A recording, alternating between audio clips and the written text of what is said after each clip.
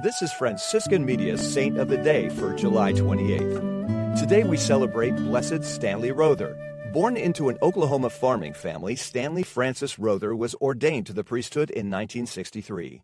Accepting the Oklahoma City Diocese invitation to join its mission staff in Guatemala, Father Rother served the parish at Santiago Atitlan for 13 years, experimenting with various farm crops in addition to his pastoral duties.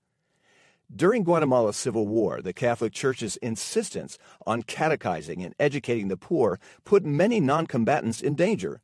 Early in 1981, with his own name on a death list, Father Rother visited family and friends in Oklahoma.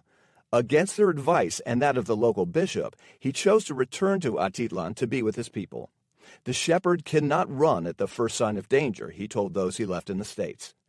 In the early morning hours of July 28, three men entered the rectory and fought with Father Rother before executing him. His beloved parishioners mourned. They have killed our priest. Declared the first American born martyr for the faith in 2016, Stanley Rother also became the first American born man to be beatified on September 23, 2017. There's more about the saints along with inspiration and Catholic resources at our website, saintoftheday.org. From Franciscan Media, this has been Saint of the Day. This is Franciscan